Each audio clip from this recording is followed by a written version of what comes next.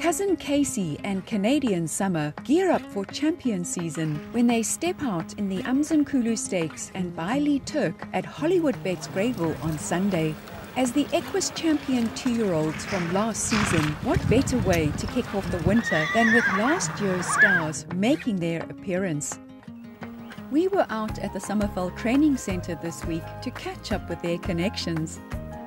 Cousin Casey was easy to pick out in the ring. He's coming back down on trip in the Grade 3 Byerley Turk, but he's won over this course and distance. Did a nice little sprint up this morning by himself with Daryl Daniels on this morning. Um, I'm happy with his work, his preparation has gone well.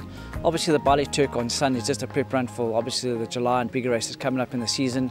So I think he's about 80-85% fit, but I'm happy where he is and I'm expecting a very good run for him on Sunday. Cousin Casey comes again. His last run was in the World Sports Betting Cape Town Met. He finished less than two lengths behind Jet Dark. He travelled up to KZN a month later, arriving on March the 5th. He likes it up here. Um, he's been here, I think, about seven weeks now, and all, all gone well. You just have to look at last year's form in KZN to realise just how happy he is in the province. Four runs for four wins, including a Grade 1 and a Grade 2. What type of horse is he to work with?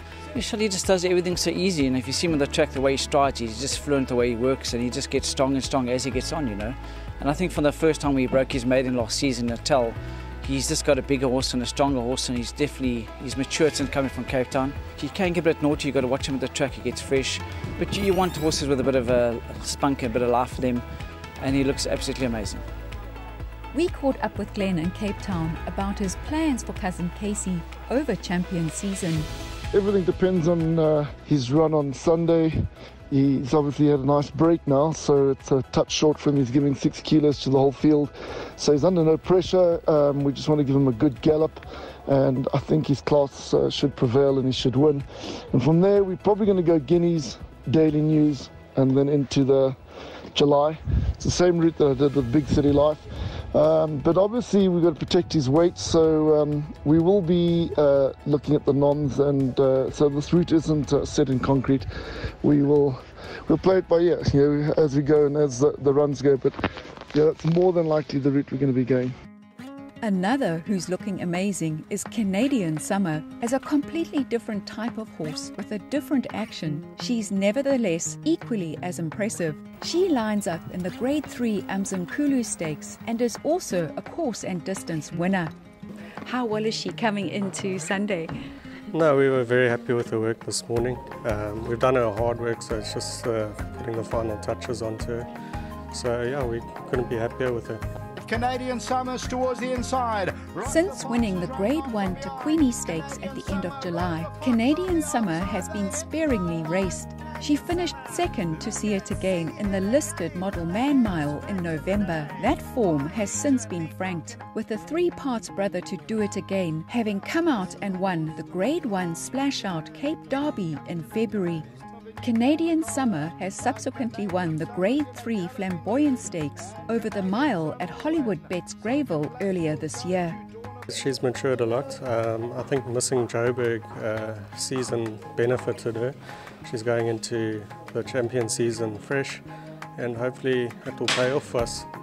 She's drawn one, the same barrier position from which she won the Grade 1 Thekwini Stakes. What type of filly is she to work with? Oh, she's so easy, straightforward, laid back, very sweet. Um, she tries her best. She runs her heart out, whatever you, whatever you throw at her. Just a pleasure to work with every day. Our plan is to go probably the Fillies Guineas after this, um, and then the Woolavington. But they've changed the conditions of the Woolavington, so we've got to we've got to reassess that and see if we're still going to go for that race or not. Um, and if she stays the trip, yes. um, Preggy's always dreamt of having a horse in the July, so that might be an option, or Garden Province on July Day. Glen Kotzen also saddles Amina in the Umzimkhulu Stakes. As the winner of the Grade 2 Zulu Kingdom Explorer Golden Slipper in July last year, she has since been off the track. Yeah, Michelle, you know, she's unfortunate. She hurt to pull the muscle last season before the Gold Cup and we never ran her. She went to Cape Town and then she had the whole season off. She just rested. She's come back twice the size she was last season, and she's obviously having her first comeback run on Sunday, and she's doing very, very well. How much can we expect from her come Sunday?